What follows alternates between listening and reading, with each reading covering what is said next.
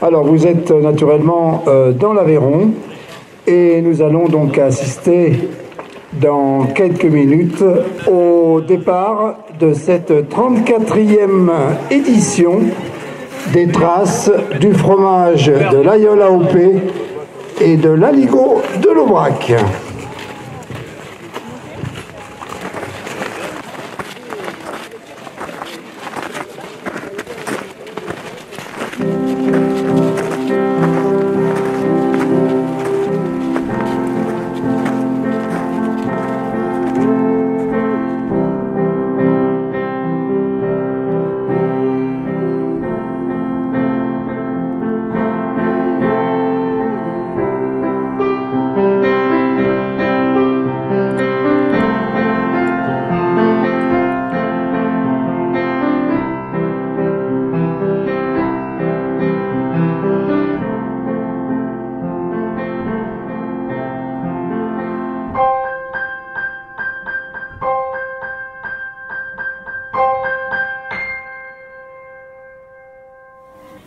Mars Bleu, c'est le mois de sensibilisation du cancer de l'intestin. Il faut se faire dépister toute l'année.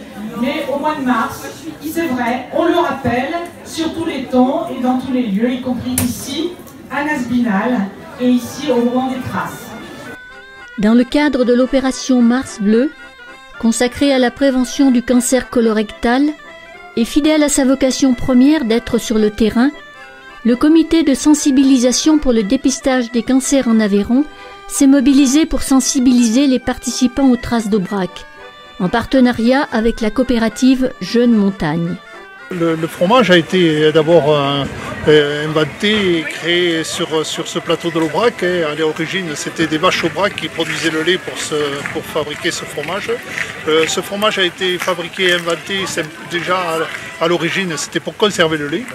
Euh, parce qu'on savait que la période d'été, c'était la période où c'est qu'il y avait le plus de lait. Et pour, consommer, pour pouvoir consommer des produits laitiers toute la saison, on a inventé ce, fromage de l'aïole euh, il y a plusieurs siècles déjà, le laïole et la et l'aligo.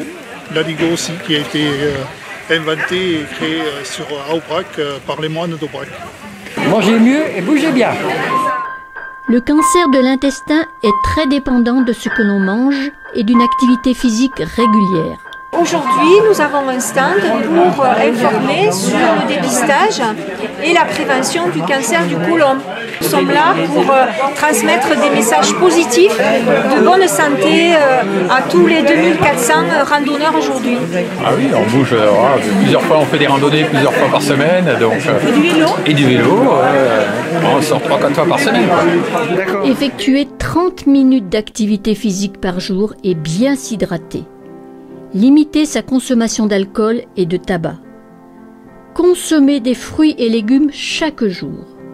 Manger des féculents et des céréales au quotidien. Réduire sa consommation de sucre.